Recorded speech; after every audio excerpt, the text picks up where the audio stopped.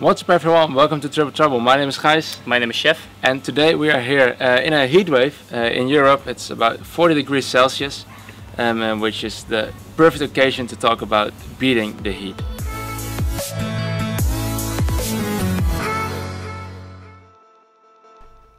Tip number one, sunblock. Use sunblock on hot days, not only because it's probably more healthy, but also because a sunburn costs loads of energy. Tip number 2. Long sleeves and a hat. Long sleeves and hats can protect you from the direct sunlight. Even though it might seem weird to wear more layers, white sleeves are actually really nice. Tip number 3. Drink a lot. Drinking a lot of water is essential when you're competing or training in hot weather.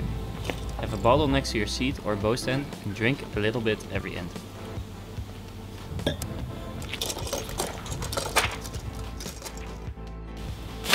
Tip number 4.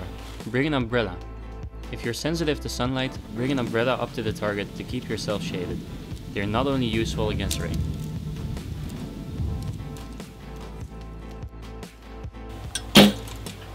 Tip number 5.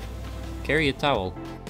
With a little towel on your quiver, you can wipe the sweat off your hands before shooting to prevent any slipping of your grip or finger tab.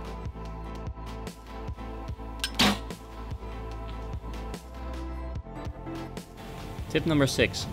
Cool yourself with some water. Pouring some water over your body will temporarily cool off your body because the water evaporates. This will provide a nice cooling break.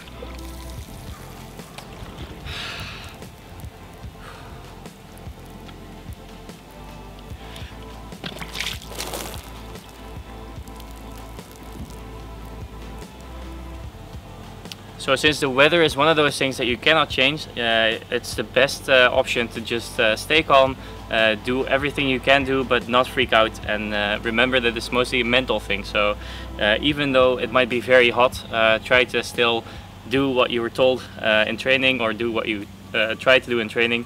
And yeah, remember that it's mostly mental.